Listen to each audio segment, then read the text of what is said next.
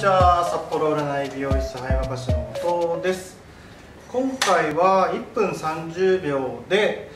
えー、グラデーションボブ皆さんできますでしょうか？グラボブを1分30秒。結構これはねハードル高いと思います。1分30秒で1分30秒でグラデーションボブを切るっていうのは結構難しいと思うんでちょっとね、えー、地味な内容になるかとは思います。内容的にはねちょっとあまりはあのこう見せれるカットっていうのをやってる時間がないので、えー、非常にシンプルなカットになるかなと思うんであんまり見せるところがないというか、えー、ですね、えー、まあ、僕がよく使う縦と横を同時につなげるっていう方法ですね、えまあ、そういうのを使っていかないと間に合わないというところですね。球体として捉えるというところですね。えー、ノンベーシックベーシックはいらないよっていうことを、まあ、前々からもう何年も10年ぐらい以上前からね言ってるんですけど、えー、ベーシックがあることによって、えーまあ、ベーシックは悪いものじゃないんですけどやはりねウィッグを切る。ウィッグを切るためのカットじゃなくてやっぱり実践のお客様を切らないとダメなので実践のお客様の癖とかありますからあのコーミングがなんちゃらとかですね、えー、まあなんでしょうね。まあブロなんて細かくこうねチョップで切っていくっていうのもチョップって意外といいような感じがしてあの実はまあ逆にねチョップカットっていうのはあの毛先をなじませないためにはすごくいいんですけれどもまとまり悪いですよね結構ね。なのでもっとまとまるカットっていうのは意外とシンプルな答えなんですね。それをちょっとやっていきたいと思います。じゃあ1分30秒でグラボブを切りたいと思います。使うのは、えーと、ブランド3セニングを使って、えー、やっていきます、はい。まあ、馬力がある程度ないとちょっと切れないんで、えー、ブランド3でやっていきたいと、まあ、これはねスピードカットで使うシザーなんですけれども、まあ、子供カット子供さんとかあんまり長く待てないと思うんですけどそういう時に結構使いますね。やっぱり、あのー、スピード勝負だったりとかするんであの本当にね、えー、パパって切らないともう長く座ってられないですからねお子さんとか。なので、まあ、そういう時はこのブランド3セニングを使って、えー、やっていきます。はい。ではやっていきたいと思います。結構きついんだよな。1分30秒って。結構ハードル高いんだよな。入んないかもな。1分30秒でグラボブは。ちょっと僕ねこれリハーサルしてないんですよ。あの皆さんこれ僕何回も練習してると思ってるかもしれないですけどリハーサルしてません。全くノーリハーサルの状態でやります。だから僕もできるか分かんない。でもできると信じたい。っていう感じ。なんでもしかしたら入んないかもしれないですけどね。ちょっとやってみたいと思います。はい。まあうまくやれば、ね、ウィッグウィッグもあのグラボを切っちゃうと切れないじゃないですか。であのー、裏に転がってるウィッグを持ってきたんですけどそんなに何体も転がってないんで、えー結構グラブを何回も切るとウィッグ何台も必要になっちゃうんでねえー、これ本当にリハーサルなしで本当に僕自分を試すためにもちょっと1分30秒で切れるのかなっていう不安がほとんどです。はい。ちょっと難しいかもしれないね。あじゃあこれね。どうしようかな。まずブロッキング取んないとですよね。うんブロッキング取ってだからバックの方ちょっとね見せてる余裕がないんでバックの方見せれないんですけどちょっとやってみたいと思います。はいいきます。さって取んないと間に合わないのでパッて取ってパッてで2ブロックラインをまず切ります。はいそしたらバックを切ります。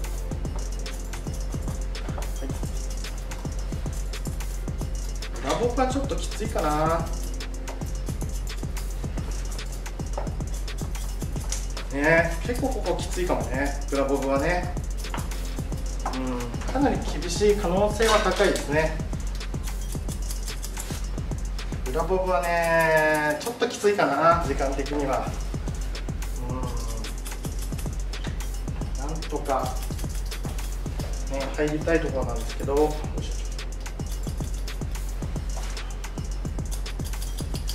はいと上を切ります。止めてる場合じゃないっていうことですね。でねえぐるようにあの縦と横を同時にこうめぐって切っていくんですね僕の切り方的には。はい。こっちはねこっちはちょっと高さが高いな。よいしょ。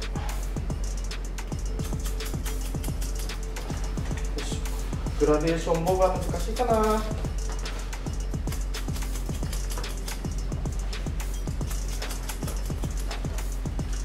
グラボブはね結構厳しいかもしれないですね。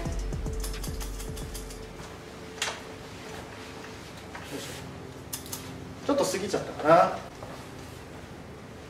さすがにグラボブきついか。はい。で、えー、どのような感じで切れたかというとちょっと今ね切ってみたんですけどもえー、縦と横を、あの、つなげると縦と横自体をですね同時に切る方法っていうのが実はありまして、えー、縦横を同時に切ると一発で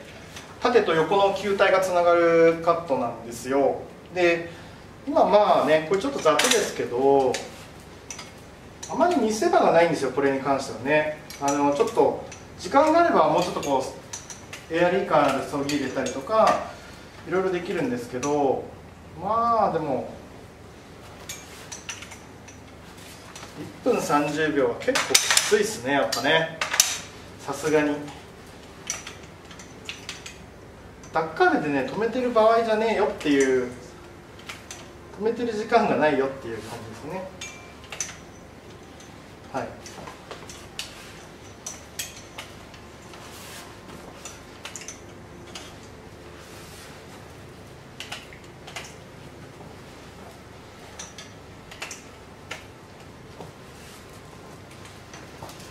でえっ、ー、とこれね今ちょっと切ってみたんですけどまああのー、これ分かりますかね？グラデーションボーブになってるの。はい。ちょっとこれもみあげ長いですねここね。ちょもうちょっと巻けばいいか。な巻けば長いとか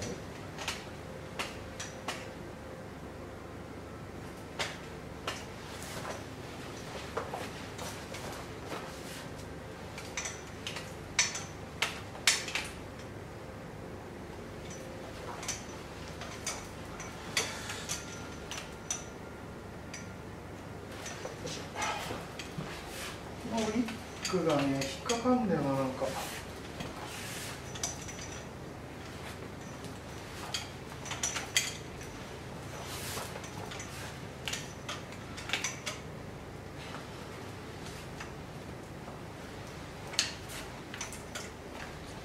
ちょっとねつなぎ目迷っちゃったから時間かかっちゃったんだよな。やっぱリハーしないと切れないですね。ノーリハーで。まあでもねここまでは切れますよ。これちょっと後ろのウェイトとか分かりますかね？ウェイトラインとか。で、えこれ僕僕一切あのこれ直してないんで動画そうですね。途中で切れ編集しないんで。でバックが、まあ、こういう感じ。見えます？でこれバックこういう感じに切れてるじゃないですか。はい。こういう感じに切れてで再度こっちも見せます。このようにこう流れる。このグラデーションのボブのスタイルになってる。で高さここがこうなってはい。まあ、ちょっと前髪はね切ってたんであれですけど、まあ、このような感じにグラボブは簡単に切れます。はい。でこの辺の高さがちょっとこうなってでこれもあのー、まあ今ね、まあ、適当に適当というか切ってみたんですけどあの空間をこの空間とこの空間を同時で切る方法っていうのがあるんですよ。でそのこの空間とこの空間を同時に切ることによって時短なんですよ。そういうのやらないと1分30秒無理なんですよね。はい。なんでそういうのを同時に切る方法がこれが分かれば例えば結構適当に粗切りしてで粗切り粗切りしてそれを最終的につなげることもできるんですよ。粗切りして粗切りして最後はその帳尻合わせると。いう感じなんでどういう形でじゃあお客さんがここを切りたいとバッサリここまで切ったい切りたいバッグもすごい切りたいっていう場合にやっぱお客さんの要望って全部が全部その僕らが思ってるのとちょっと違うんですよ。例えば、ね、顔割り短く切りたいという方もいるし長くしたいという方もいるんで最終的に帳尻を合わせていかないとダメだと思うんですよ。球体として。なんでそういう球体のところを帳尻をポイントの部分を切っちゃって後でポイントを合わせると。いう部分。これをね縦スラでバンバン縦スラとか、まあ、バイアスでこう切ってもそんな時間がないので、えー、やっぱ早くこう1分30秒で切るぐらいでこの無駄なものを省くでそこからこう追求していくっていう部分も一つの方法かなと思います。まあ1分30秒でお客さん切ったら怒られちゃうと思うんですけどね。ただある程度、まあ、今これ後ろ見えますかね？そんなに1分30秒で切った割にはこれねスタイリングすればそんな悪くないと思うんですよ。今これノー編集なんで、まあ、ちょっと雑なとこはありますけどあのー、それなりにここをねちょっとスタイリングこうして今ちょっとつけますよワックス。ワックスつけてね。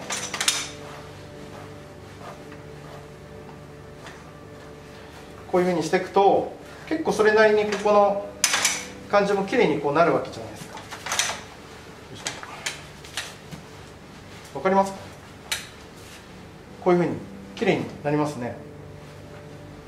それなりにこうグラデーションのボブのスタイルが簡単に切れるわけです。これ1分30秒ぐらいあれば。なんで、あのー、無駄な時間をね、えーまあ、例えばですけどまあ結構ね、えー、美容師さんってどっちかっていうとこうきっちりやりたいんですね。あの特に日本人の美容師さんはそうなんですけどきっちり学びたい。確かにそのきっちり学ぶことは悪いことではないんですけれどもあのー、ていうか無駄なところがちょっと無駄になんちゃうやらなくていいことをやったりとかですごい遠回りなんですよ。実はもっと簡単にカットってできるんですけどでも多分僕みたいなやり方って結構美容師さん嫌うんですよ。なんでかっていうとあの、例えばまあ結構カットとかしっかり学んでる方は特にそうなんですけどあのやっぱり今までやってきた積み重ねを否定することになりますから過去を否定することになります。なので、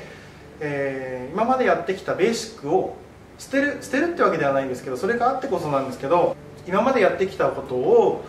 あの否定するような考えになってきてしまうんでどうしても受け入れられないんでまあねこういうふうにこういうのは多分ね「WE」がたくさんつくんですよ。多分これつける方も多いと思うんですね。やっぱり皆さん技術の世界なんで俺は負けたくないぞっていうのはやっぱ結構ありますから美容師さんの世界って。なので、えー、なんかこう荒探しが始まるんですね。ここはこうだとかね。ただあのー、なんていうのかな。ここの角度はなんちゃらとかね。あのそれよりももっとね、えー、シザーが体の一部みたいな感じであのこう自由自在にカットできた方が楽しいと思いますよね僕は。そう思ってます。はい。なんで例えばあの結構まあ面倒くさいぶっちゃけ言うと面倒くさい細かいお客さんとか僕あんま面倒くさいんですけどぶっちゃけ言うと。なんですけど、まあ、そういうのも対応できるんですよ。あの昔だったらどうしようと思ってたんですけど今全く思わなくてあのどういうスタイルも切れちゃうのであのまあちょっとまあ面倒くさいなと思いながら まあ、それを合わせて切ったりとかうんまああまりね神経質な人はまあできなくはないですけどまた まあ率先して担当はしたくないですけどただまああのやっぱりねそういう細かい要望を聞ければやっぱり今あのコロナの中で、えーまあ、カットってねやっぱお客さん自分でできませんからね。カラーとかも僕はカラーって多分もうホームカラーになると思ってるんです。自分的には。ホームカラーの時代になると思ってるんですね。だからもうあと残るのはカットとかね。あとまあそういうところに力を入れていかないとダメだなと思ってるんですけど、まあ、そこでね自由自在にハサミを使えたらすごく楽しいしうんもっとね、えー、新しい価値観のカットっていうのを僕は伝えていけたらいいかなというふうにあの思っております。はい、えー、何が正解かっていうのはねちょっとわからないんですけども、まあ、いろんなねあの宗派が宗派っていうかもあるんで、えーまあ、しっかり学びたい人がもうほとんど90%ぐらいだと思いますね。僕みたいなこのちょっと特殊なカットを知りたいよっていうのは本当に残り5%ぐらいだと思うんですよね。ちょっとマニアックな美容師さんとか、えー、ちょっと講習会行ってもどこも一緒の内容しかやってないからそれに飽きちゃったりとかしてる人とかそういう人がたまにね、えー、教えてくださいって感じは来るんですけども基本的に何て言うんでしょうね結構やってることを見ると結構シンプルなので、えー、あのあんまり何て言うんでしょうねあんま美容師に響かないのかもしれないですね。はい。だけどね本質って実際にあのくせ毛とか対応するときにやっぱり他の美容師さんができないカットとかをしていけばあのリピートにもなりますし本当にあのくせ毛美容室くせ毛カットでまあ僕は多少ちょっと自信を持ってやってるんですけどあの他じゃできないことできてると思うんですけどやっぱり、えー、そういうねイレギュラーなカット方法だったりとか入れることによって他のサロンじゃ多分できない、えー、そのようなカットっていうのもできます。やっぱりねあるものを捨てないとできないんですよね。今までの過去を捨てないとできないんですよ。で未来って多分過去を捨てないと過去をぶち壊してから未来できるものなんでその自分の固定概念みたいなのをぶち壊さないとなかなかこう入り込めない部分だと思うんですねこういう変なやり方とかは。なんですけどうんまあ、それをねぶち壊してから新たな自分がまた生まれてくるんじゃないかなっていう僕はちょっと思っててはい。っていうのがまあずっと思ってることです。はい。変わらずここ何十年も僕は思ってることですかね、うん、僕はちょっと YouTube の方にねあのこう、うん、と一般一般公開の YouTube の方にまあアップできてませんけどえー、っと限定動画の方でねアップしてるんですけど大体200 200名ぐらいは、うんと、モデルさんカットした動画があるんですね。多分200名ぐらいはあると思いますね。200名ん？どのくらいだっけな？200名もいないか。ああ違う200いないわ。え、ー、と172人。え、ー、と予約制まあもうちょっといるかな。200弱ぐらいかな。うん、やっぱり200弱ぐらいですね。200はいないか。200弱ぐらい、えーとちょっと担当させていただいて。まあカットだけじゃなくてねいろいろやらせていただいたんですけれども。やっぱりいろんな髪質の方がいて。でやっぱりあの大手のね美容師さんとかはやっぱりこう見せ見せ場が大切ですからあのいいモデルさんを使ってえっ、ー、とやはりまああまりすごい癖毛の人とかねそういう人はまあモデルさん使わないと思うんですけど僕は逆にそっちの状況が難しい人の方が燃えるんですよねカットすると。なのでそのすごい癖毛の人をじゃあどうやったらいやどういうふうにやったろうかなみたいな感じでちょっと燃えてくるんですけどやっぱり問題がある人の方が、あの圧倒的に面白いですね、はい、なんで綺麗なモデルさんで綺麗な髪質の人って適当に適当ってわけじゃないけど、まあ、普通に切れるんですよね。かっこよく。簡単に。なんですけどやっぱりその問題がある髪質をそのカリスマの美容師さんたちが切れるのかっていう問題ですね。うまく。例えばすげえ毛量がブワーって多いすごい毛量が多いくせ毛の人とかどうやって切るんだろうってアップしてないんでね。そういうのを上げてる人いないんですけどあのそれをどうやってうまく、ね、宿毛矯正なしで仕上げるのかなとかそれってやっぱりイレギュラーなカットが必要だと僕は思っててそのイレギュラーなカットってやっぱり結構ね熟練の技が必要というかうんやっぱ現場とウィッグと違うっていうことはそういうことなんですよね、はい、ウィッグをきれいに切ってもあの時間がもったいないんで結構実践入った方がいいんですよ。で、えー、実践でいろいろこうやってた方が絶対勉強になると思うんでなるべくねモデルさんやった方が僕はいいと思います。で、まあ、YouTube 見てても、まあ、ウィッグをずっと切ってるのもあるんですけどあれ切り方しか、まあ、僕もこれそうなんですけど切り方しか結局参考にならないんで実際そうやって切ってもお客さんがそうなるとも限らないし